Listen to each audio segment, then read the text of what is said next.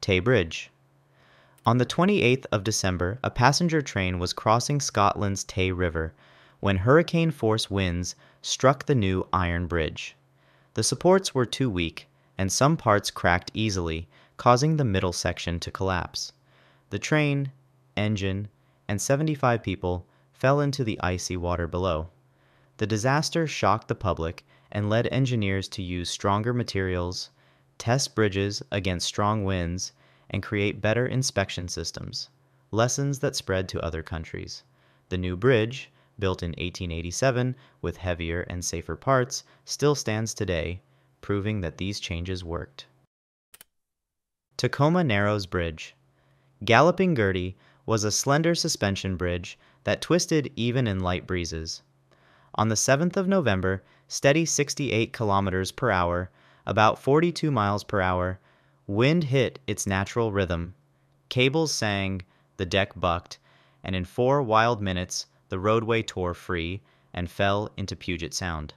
No one died, yet film of the collapse still opens every wind engineering class. Designers learn to test scale models in wind tunnels, punch vent holes through solid plate girders, and add tune dampers, so modern long spans stay calm in heavy storms. Ronan Point Tower.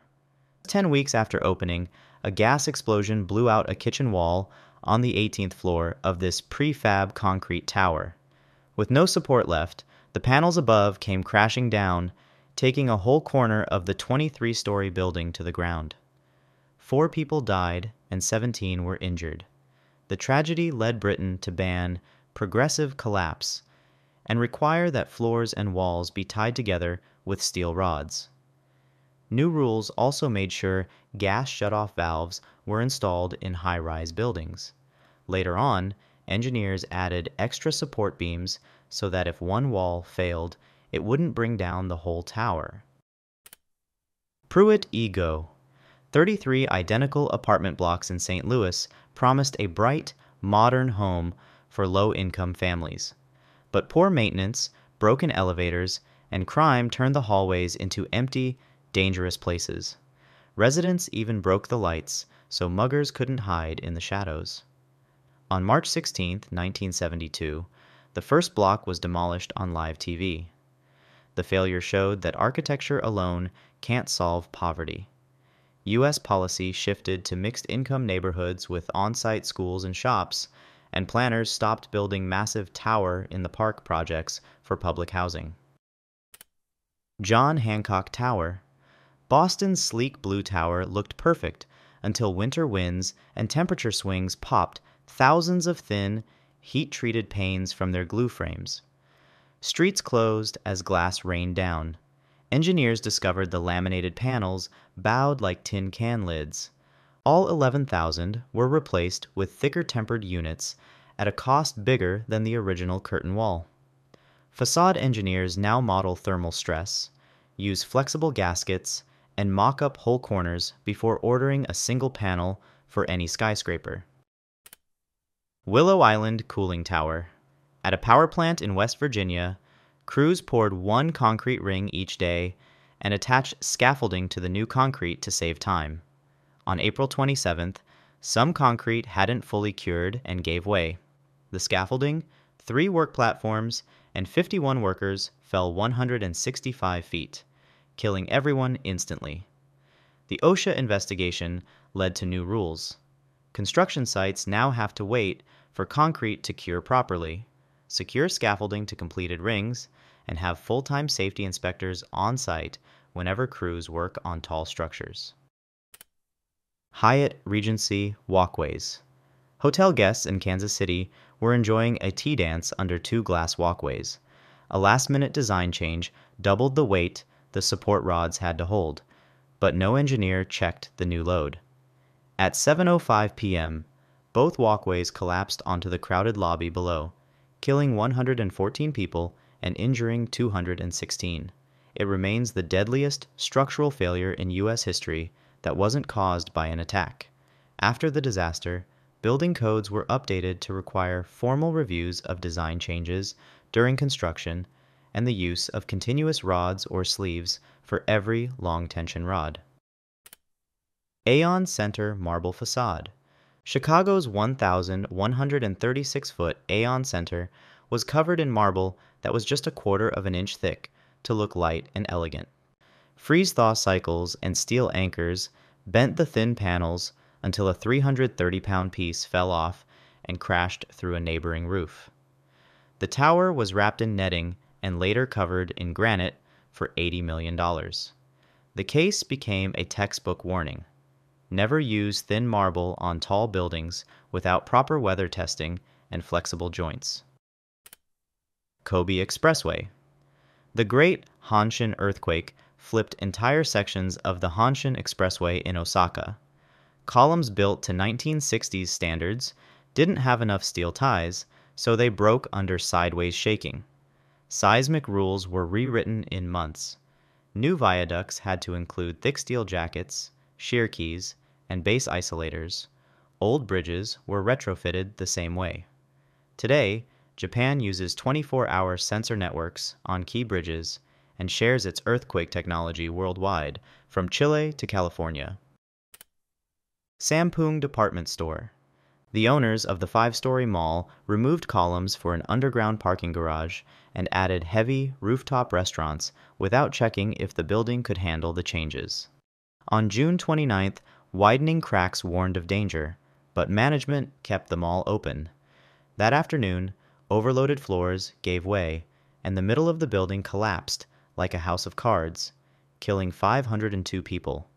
Korea jailed the owners, hired 1,000 new inspectors, and now requires fresh load calculations for any remodel that removes a column. Lotus Riverside Tower. Builders dug a basement and piled wet soil next to a new 13 story building, blocking a nearby creek. Heavy rain soaked the soil, causing it to slide, break the foundation piles, and gently tip the whole tower over onto its side, almost in one piece. One worker died. Shanghai now bans spoil mounds near building sites, requires geotechnical sensors, and holds rescue drills at all major projects so first responders know the pile layout ahead of time. Rana Plaza Factory. A garment complex near Dhaka added illegal floors and put heavy sewing machines on thin slabs. Cracks appeared, but managers told workers to stay. On April 24th, the structure collapsed killing 1,134 people, the deadliest modern building failure. Global brands set up inspection programs, and Bangladesh updated its building and fire codes. Annual safety audits, sprinkler upgrades, and worker safety committees are now mandatory in export factories. Arena da Amazonia. World Cup stadium deadlines forced 24 hour shifts on a complex steel roof. Three fatal falls and a crane collapse happened during construction. Investigations blamed tight schedules and missing anchor points. Brazil now requires independent safety reviews on large projects and fines organizers who rush lifts too quickly. Future stadium roofs must include fall arrest plans before any steel leaves the workshop. Torch Tower Fire a cigarette on a balcony sparked a fire that raced up the 79 story Torch Tower, one of the tallest apartment buildings in the world.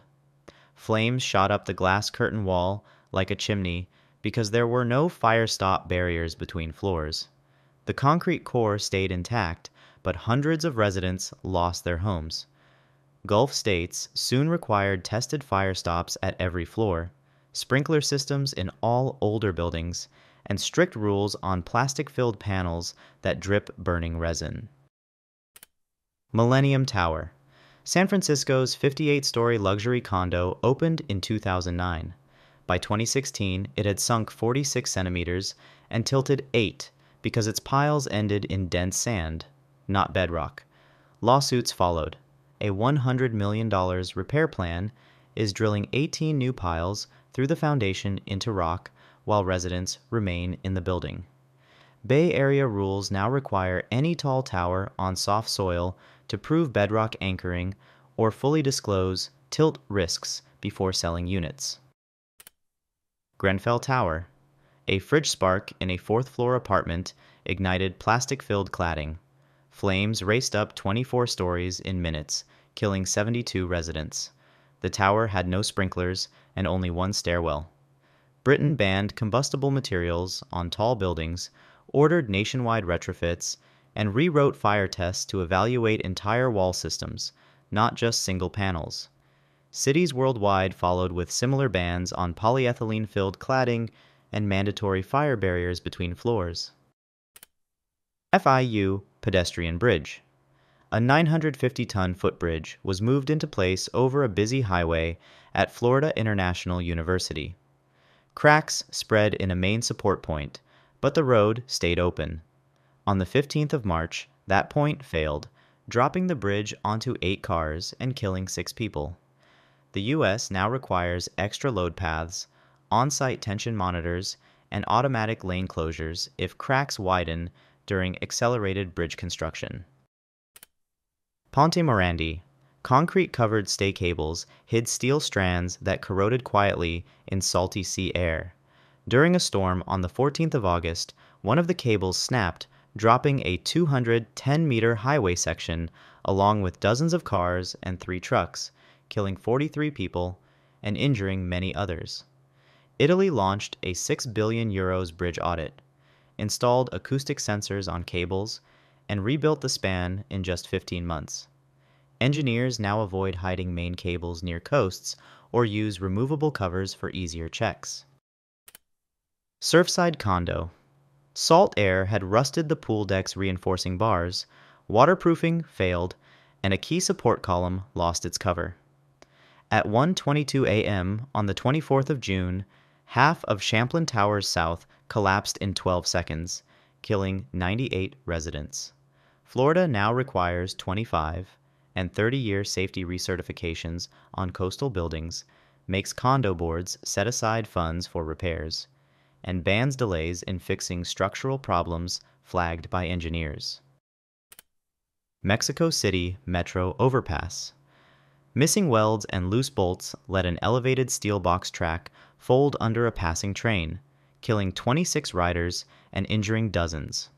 A forensic team scanned 10,000 joints across the system and shut unsafe spans. The city now requires external ultrasonic tests on public steelwork and doubles inspection funds in annual budgets so defects cannot hide behind decorative cover plates. Metropol Twin Towers Developers added extra floors and sliced steel from columns without permits. On the 23rd of May, the half built tower folded like wet cardboard, killing 41 people and sparking nationwide protests over corruption. Iran reassigned local inspectors to national teams for high rise jobs and set up a phone app for citizens to flag illegal site changes in real time. Qiqihar School Gym a middle school volleyball team was training when a contractor stacked bags of water absorbing perlite on the flat steel roof. Heavy rains soaked the load, doubling its weight. Welds cracked, and the entire 1,200 square meters sheet roof fell, killing 11 students and coaches. Phone videos of the rescue went viral across China. National rules now ban roof storage during facade work, require engineer sign off on added loads, and mandate yearly roof weld checks for all public gyms. Key Bridge. At 1:29 a.m. on the 26th of March, the container ship Dali lost power and veered into a main pier of Baltimore's Francis Scott Key Bridge.